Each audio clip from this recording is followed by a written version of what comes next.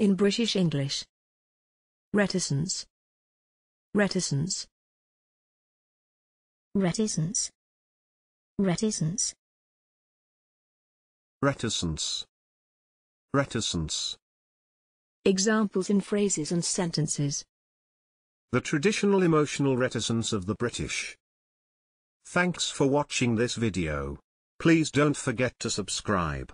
You can find similar videos for each and every English word in the dictionary on our website.